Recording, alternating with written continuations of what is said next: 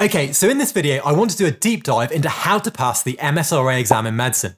The MSRA is a computer-based multiple choice exam that features both clinical questions and a situational judgment test.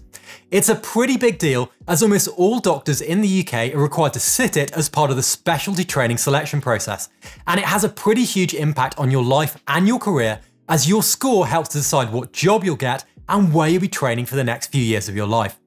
I'm going to be going deep into what the MSRA is, how to prepare for it, and the best resources to use so that you can get the highest score possible and have the best chance of getting the specialty job that you want.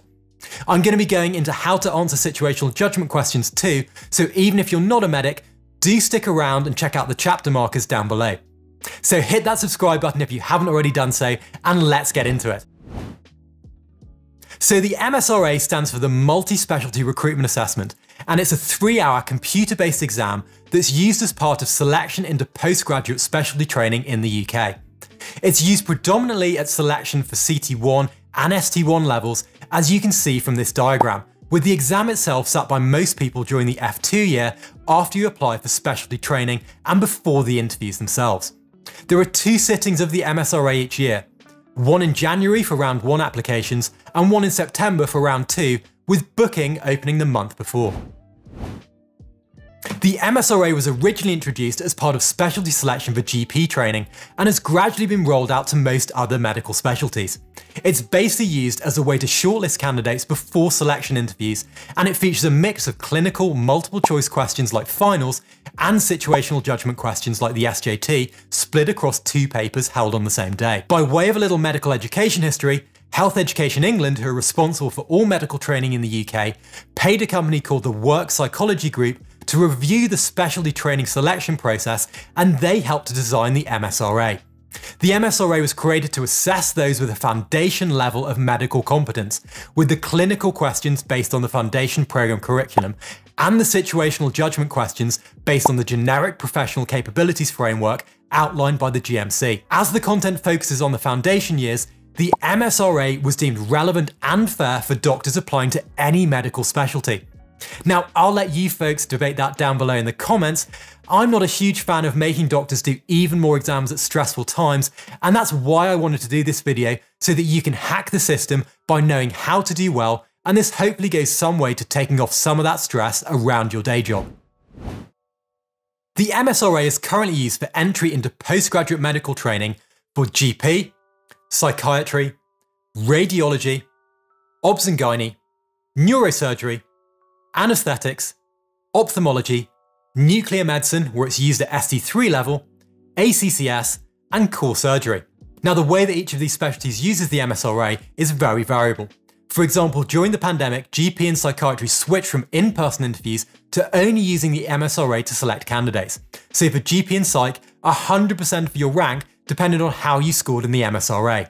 It's the only thing that determines if you get a job and where that job is. There's no selection centre, no interview, no portfolio at all for GP and Psych. Most other specialties use the MSRA as part of your overall score and combine the MSRA with interviews. If you're applying for CT1 anaesthetics, for example, your MSRA contributes 15% of your overall score. It's sensible to check the website of the specialty to which you're applying, as year to year specifics can vary.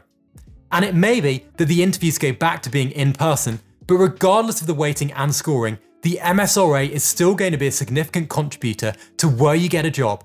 So let's look at the exam format and how to score highly regardless of what specialty you're applying to.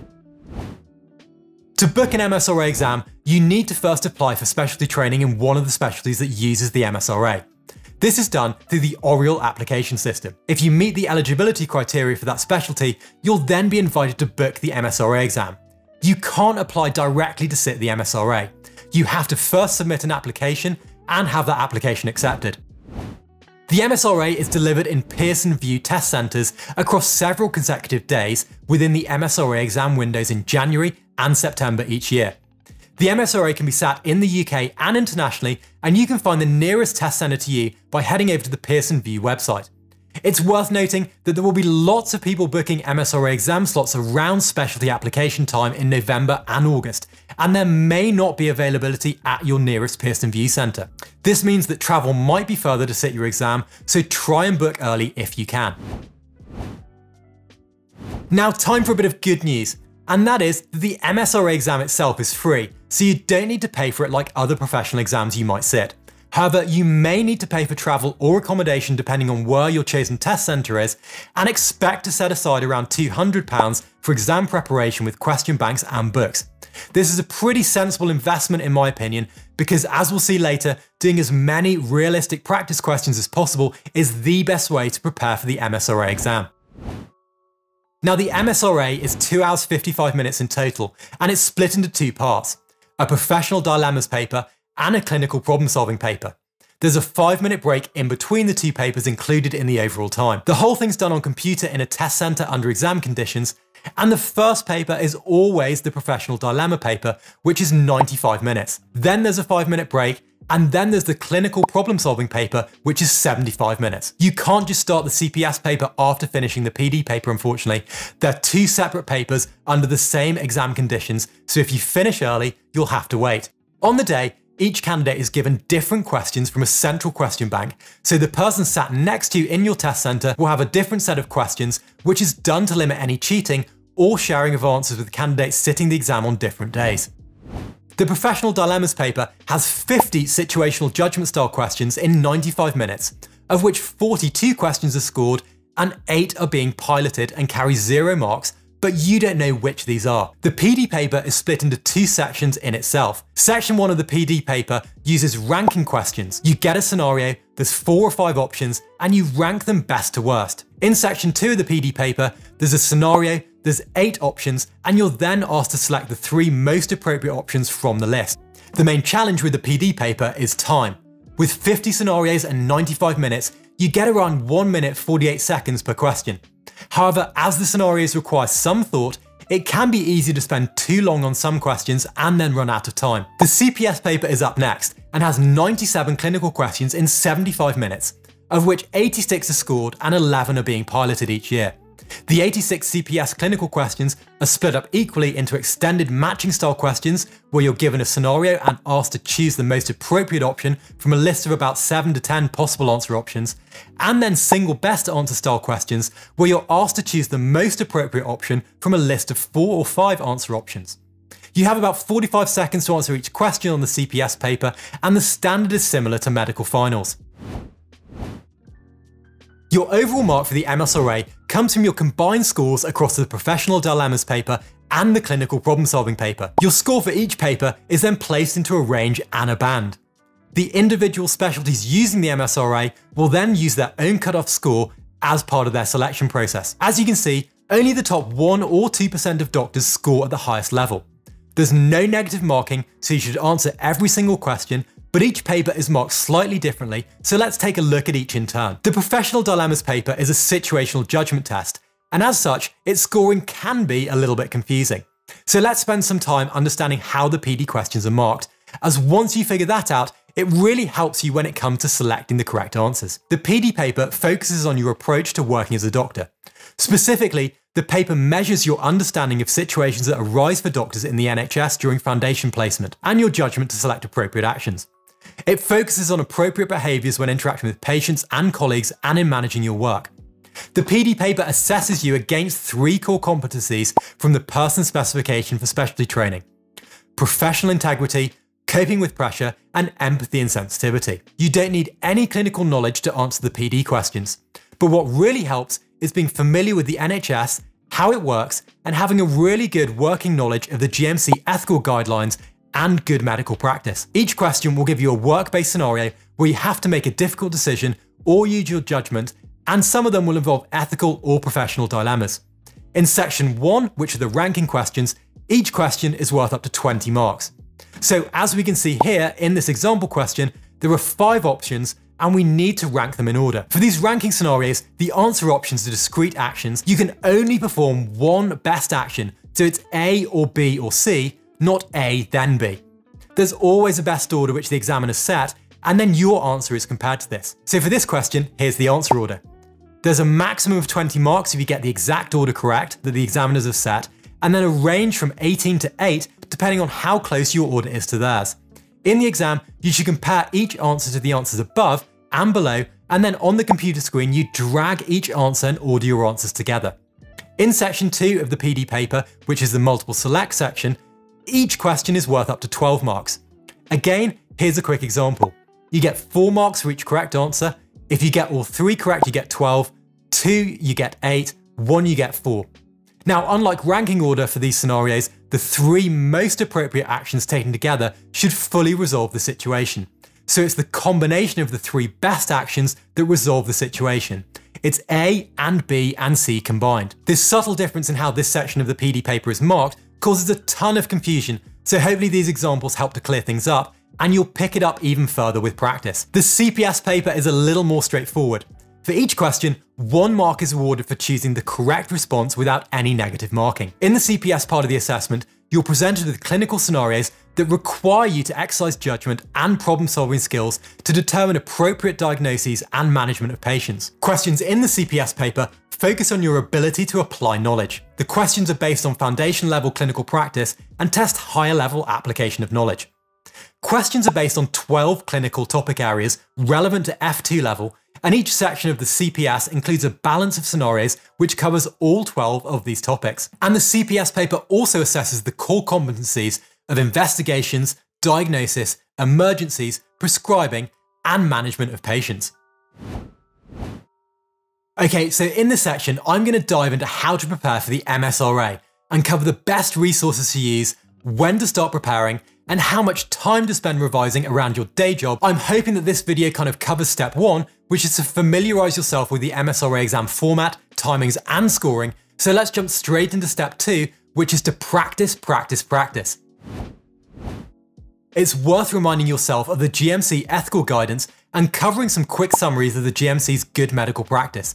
I would also suggest spending a little bit of time going back over this video and the official guidance to make sure you fully understand how the PD questions are scored. Other than that, I would save yourself a ton of time and get straight into actually doing questions.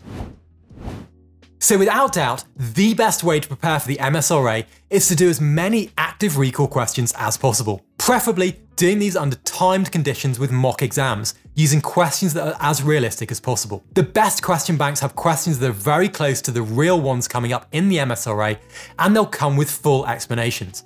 This is particularly helpful for the PD paper, where some question banks nicely explain the reasoning behind the correct order or selection, and this then helps you to switch your brain into thinking along those same lines.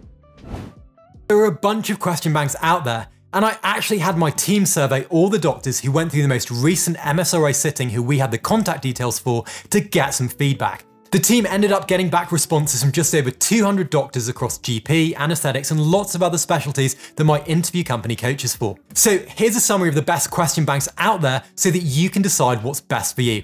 And remember, you might want to sign up to multiple question banks so that you do as many questions as possible. So first up is eMedica. This is one of the oldest MSRA question banks out there, originally designed for GP specialty selection when the MSRA was known as just the SRA. eMedica also run courses and have a host of other resources predominantly aimed at GPs that are worth checking out. The eMedica MSRA question bank costs £49 for a month, 99 for 4 months, and 109 for 6 months, and has various tiers in between. The question bank comes with 1,440 clinical questions and 120 SJT style questions, together with a selection of mini and full mock exams. The web interface is quite basic, but the content is generally felt to be pretty similar to the real thing. Now, Pass Medicine has 2,500 clinical questions and 250 dilemma questions on offer. Pass Medicine offers a four month subscription for £25 and a six month for £30. One of Pass Medicine's most liked features is its textbook, which offers explanations and information around clinical topics in detail. Questions were felt to be less similar to those asked at the final MSRA exam than other question banks, but at such a low cost, it's a fairly inexpensive risk to take. MCQ Bank comes with 978 clinical questions and 206 PD questions. The question bank costs £53 for one month access, £59 for four months, and £75 for six months. The question content is very close to the real MSRA exam, however the website design and layout are pretty antiquated and might not be to everyone's taste. PassTest offers an offline app and 1,900 MSRA questions to practice. It has a modern interface good explanations, but perhaps not the most realistic questions. Its pricing is a little different too, offering £35 up to the next MSRA sitting and £55 for the sitting after that. So depending on how early you register, you could pick up a really good deal. Shiken is a newer learning platform that features a mobile app, a gamified interface, and the ability to adjust your time per question, which is very helpful for MSRA revision. Shiken is a little different from the others on the list as it allows for multiplayer and acts like a store hosting packages for different tests and exams. The MSRA pack available on the Shiken store comes with just over 5,000 questions, which is the most on the list, and Shiken offers both 3, 6 and 12 month subscription options together with fixed pricing to the date of the next exam. Now, the majority of successful applicants that my team surveyed spent between one to two months preparing, starting their preparation around application time. So if you're sitting the MSRA in January, start revising in November, and if you're sitting in September, get going in July. For many people, revising around a busy day job with on-calls and night shifts is the biggest challenge. If you start early and plan your revision around shifts, it's definitely manageable. This is where the question banks come in really helpful too. I'd spend the first few days making sure you understand the MSRA exam and then plan to do a few hours a day of questions, getting through as many questions as possible. I'd recommend starting with the PD questions as there tend to be fewer of these in the question banks and then attack the clinical questions. You can also factor in mocks and going back over questions as the exam gets closer. The commonest reasons for people failing the MSRA are running out of time because the PD section in particular goes by very, very quickly and it can be easy to overthink some of the questions. Another reason for failing is underestimating the difficulty of the exam. The PD SJT questions require a certain technique that doesn't come naturally to some people. You need to treat it like a driving test and select the best responses against the guidance outlined in the GMC documentation. Now, hopefully this video has given you some ideas about how to be successful at the MSRA exam and get the best score and banding possible. As I mentioned, I'm not a huge fan of doing more postgraduate exams for job selection, especially where the outcome dictates where you could be living and working for the next few years. To help you out even further, I've popped up some videos from my evidence-based learning series to help you study for the MSRA even more efficiently, so do check those out. Be sure to hit that like and subscribe button if you found this video useful, and be sure to come back and let me know your MSRA score when you do pass in the comments below. Thanks so much for watching, and I'll catch you again next time.